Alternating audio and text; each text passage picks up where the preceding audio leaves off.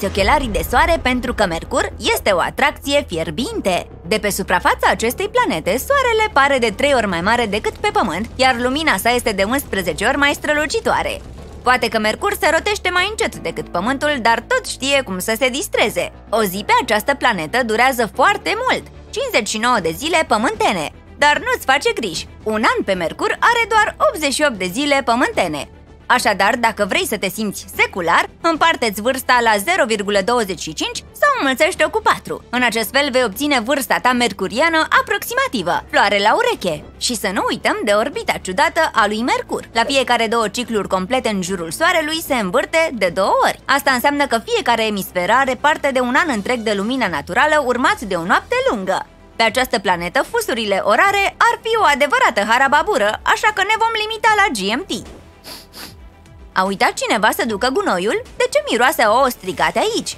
Ah, scuze, pentru că suntem pe Venus acum, iar norii ăștia puturoși nu miros a trandafiri. Ziua oricărei planete este în principiu timpul necesar pentru ca aceasta să se rotească complet în jurul axei sale. Ei bine, Venus nu se grăbește deloc cu acest lucru. De fapt, e mult mai înceată decât Pământul. Așadar, o zi pe Venus durează 243 de zile pământene sau aproape 6000 de ore. Acum, iată unde lucrurile devin un pic mai complicate. Pentru că ziua de pe Venus este atât de lungă, noi folosim de fapt ziua de pe Pământ ca standard pentru a ține evidența timpului pe planetă. Asta înseamnă că nu există un singur fus orar pentru întreaga planetă. Pare convenabil, nu? Anul lui Venus este de aproximativ 225 de zile. Așadar, dacă ai sărbători Revelionul pe Pământ în anul 2000, atunci anul venusian ar fi fost 3251. Așadar, pentru a ține evidența timpului de pe Venus, putem folosi anul local, format din 225 de zile terestre, dar la fiecare 3 ani sau cam așa ceva, există un an extra scurt format din doar 224 de zile. Nu este atât de derutant, avem ani bisecți și pe Pământ, dar funcționează puțin diferit.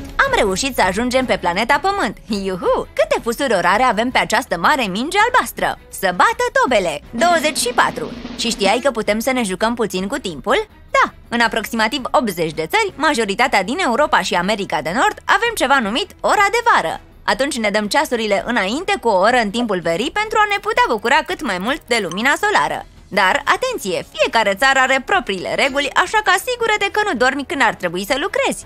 Și fii atent! Unele regiuni au chiar și fusuri orare care diferă de la ora universală coordonată, UTC, cu jumătăți sau sferturi de oră. Îți poți imagina că Luna va avea propriul fus orar? Agenția Spațială Europeană a anunțat că este timpul ca Luna să aibă propriul fus orar sincronizat.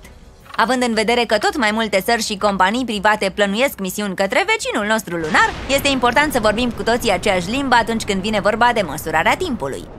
În prezent, fiecare misiune poartă cu ea timpul universal coordonat al Pământului, ceea ce este util atunci când există doar câteva misiuni în același timp.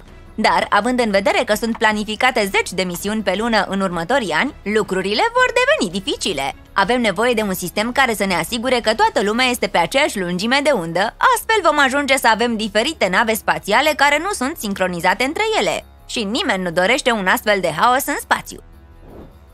Cronometrarea precisă a timpului este foarte importantă pentru comunicare și navigare, așa că trebuie să găsim o modalitate de a ne asigura că toată lumea este pe aceeași lungime de undă. Agenția Spațială Europeană nu și-a dat seama exact ce formă va lua acest nou fus orar lunar, dar lucrează la el.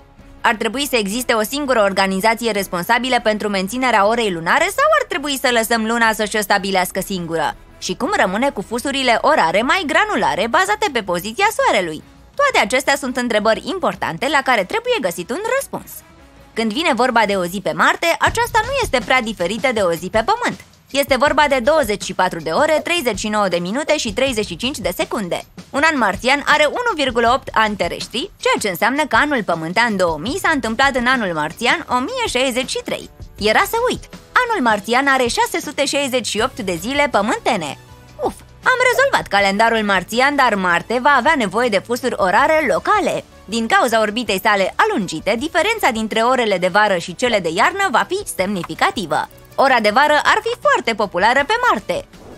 Un an pe Jupiter durează aproape 12 ani terestri. Da, este ca o viață întreagă în ani câinești, dar nu-ți face griji. Există 12 anotimpuri pentru a menține lucrurile interesante, fiecare dintre ele fiind aproape la fel de lung ca un an terestru. Dar o zi pe Jupiter durează doar 9 ore și 55 de minute terestre. De asemenea, deoarece Jupiter nu are o suprafață solidă, norii se mișcă cu viteze diferite, astfel încât două stații atmosferice care plutesc liber ar putea avea zile diferite. Hei, dacă am locuit pe Jupiter, am avea mare nevoie de o aplicație grozavă care să urmărească toate aceste lucruri. Oricum, dacă vom coloniza vreodată regiunea lui Jupiter, majoritatea populației va trăi pe lunile sale, deoarece atmosfera planetei este prea neprimitoare. Și fii atent, perioadele de revoluție ale sateliților sunt conectate, așa că putem folosi același sistem de numărare a zilelor pentru toate. Pe satelitul Io putem avea două zile jupiteriene standard într-o zi terestră. Cum se împarte asta? Ei bine, am putea avea un minut de 53 de secunde și o oră de 103 minute. Sau am putea să rămânem la minutele și orele de pe pământ și să avem o zi de 21 de ore și 13 minute. Câți ani ai? Eu am 200 de zile, dar tu?